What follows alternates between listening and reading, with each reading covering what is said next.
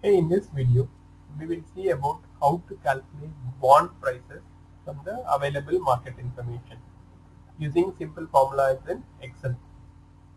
Let's take this. We have a bond with a face value of 1000. The issue date of the bond is 14 September 2011. The maturity date is 14 September 2014 and somebody is buying the bond as of 14 September 2012 that is exactly on the coupon date. Coupon is 12.25% per annum. Number of coupons per annum is 1 which means it's a annual coupon paying bond. The price of the bond, the price of the bond as of today is 985.32. Let's see how a bonds, this bond yield to maturity can be calculated. For calculating bonds yield to maturity, there is a simple formula called yield in Excel. Let's understand this. So it, uh, it requires these arguments. Settlement. Settlement is the date on which somebody is buying the bond. So the settlement date is 14-9-2012. When does it mature? It matures on 14 September 2014. What is the rate? The rate is the securities annual coupon rate. So we have a coupon annual coupon of 12.25%. Price. Notice this comment here. Price is the securities price per dollar hundred face value. You need to be very careful about this. It's dollar hundred face value. So this will handle only the bonds with 100 face value.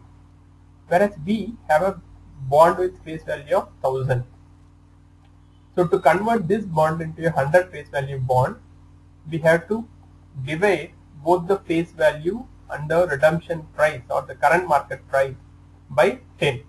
We have 1000 by 10 gives 100. So similarly the price also has to be divided by 10. If it's a 10,000 rupee bond, then both face value and price need to be divided by 100 because 10,000 by 100 will give 100. So now the price is 983.32. I am dividing it by 10. Similarly, redemption, all bonds will get redeemed at face value. So 1000 divided by 10 which will give me the redemption price of 100. Frequency is the number of coupon payments per year, so which is 1.